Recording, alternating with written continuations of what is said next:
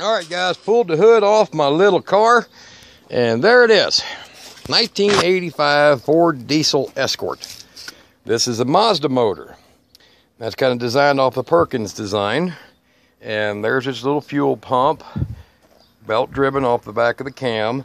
And this is uh, pretty much the same setup arrangement as most Escorts the uh, little five speed in it and I brought it over here dragged it over here to my shop over in front of my shop with uh, this right here being the problem. This is a preheater for air and this is the uh, hookup for the uh, um, glow plugs. I, I figured I've only got two glow plugs that are working but this car has been sitting.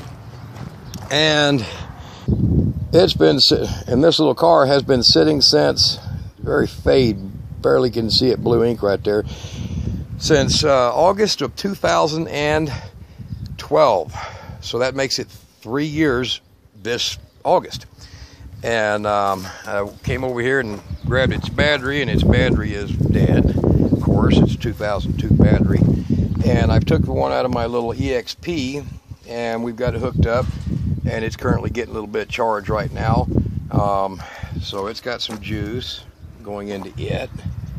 Let's see if make my connectors might not be good here. So there it is right there. Um, we're going to start this thing up now. I figured out why it why its battery it suck a battery down in a heartbeat because of this thing. It's the little preheater. See how it kind of melted when I hooked a good battery up? The little preheater right there, this is 12 volt that gives the air some warm charge going in here um, as needed. And apparently the relay is froze up on it. So let's see if we can get this thing started. Kind of cross your fingers. it's been sitting with the same fuel in it for three years. And hear the fuel pump kicking. As it right there, diesel fuel only. Might take a while. Okay, there we go. Cross fingers. Holy shit. Holy shit. That is running, guys. Make sure it's out of gear here. See, it's a little, I don't know if you can read that, little five speed. Look, even original radio. And it works. Ain't got no signal because the antenna's ripped off of it. But, look, all the original. Look at all the parts that ain't on the hood the doors. Man y'all take a listen.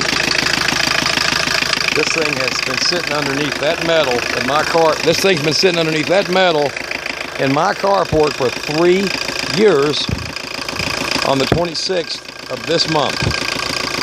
Listen. And um, Listen to that. That's...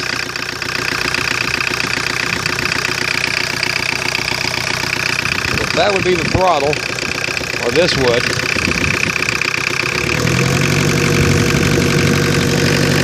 would you look? It's been sitting a long time, so I'm not going to rev it up.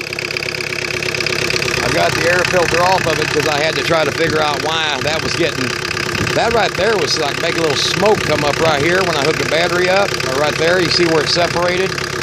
So something went wrong in this little heating element, but apparently it doesn't really matter because it's running without it. Let me disconnect this. This was a temporary to get these hooked up.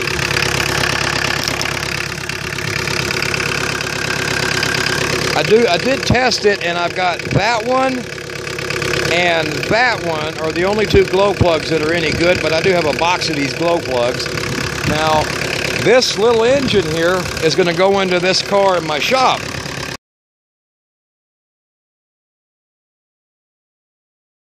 The car in my shop had its engine screwed up, so I am putting this little engine and uh, I'm going to be putting it in my uh, in my red car.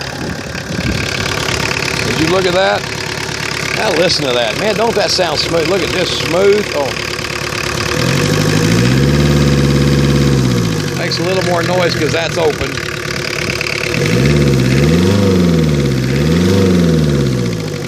I checked everything on it. Fluids are good, oil was good. And this is running on diesel. Of course, it's red diesel because that's the way I store them. Diesel cars, I'll put fill and full of red diesel until I see diesel come out up here, and then I stored it. So it's been run sitting here on red diesel. But this is what you got. And where's I don't even know where the tailpipe is on this thing. There it is. No smoke. No freaking smoke. It didn't even smoke when she fired up. Been sitting three years. Look at this thing. Headliners all falling out. This car was the one that got sideswiped by a snowplow. The guy made a was in a big cul-de-sac, and the snowplow came in the cul-de-sac, lost control. When he get when he got traction, he shot right up into these people's yard, where this car was parked on the side of their driveway, and just creamed it. This whole side of the car, ripped the fender off.